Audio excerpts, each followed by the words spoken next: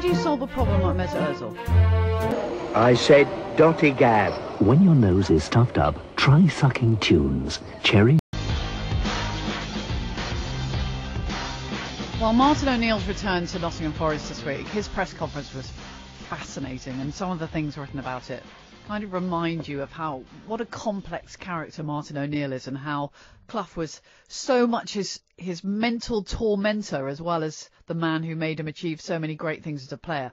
Uh, he's back as as Forest manager, and I think there aren't many ex-players that go back to clubs and you think, yeah, that might work, but this might work. It's a place he has an enormous emotional pull with, and they love him.